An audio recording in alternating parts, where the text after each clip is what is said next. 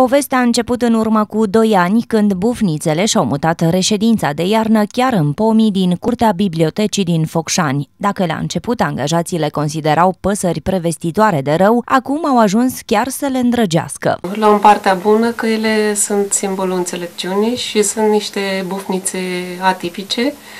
Sunt uh, bufnițele care însoțesc uh, lectura și Sperăm noi să ne poarte noroc. Sunt foarte drăgălași așa la prima vedere, că au un penaj foarte frumos colorat și că au pe, pe picioruși așa niște un penaj asemănător unei blăniți foarte, foarte fine. Nici oamenii care locuiesc în zonă nu se tem de superstiții. Nu vă sperie bufnițele? Nu? Ce? Nu? Și sau renume, că dacă cântă o bufniță, prevestește moartea. A, nu. Nu știați? Nu știam asta. Deci nu vă este frică de ele, nu? Nu, Doamne ferește. Nu, nu, nu. Astea sunt uh, niște lucruri din popor, care se spune. N-ați Niște crezut păsări care... niciodată? Nu. Astea sunt niște păsări care sunt lăsate de sus de la Dumnezeu.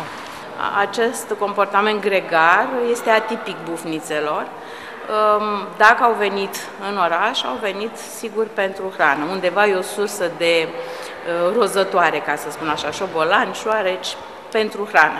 Bufnițele părăsesc curtea bibliotecii imediat cum dă căldura, se întorc însă în fiecare iarnă spre bucuria oamenilor.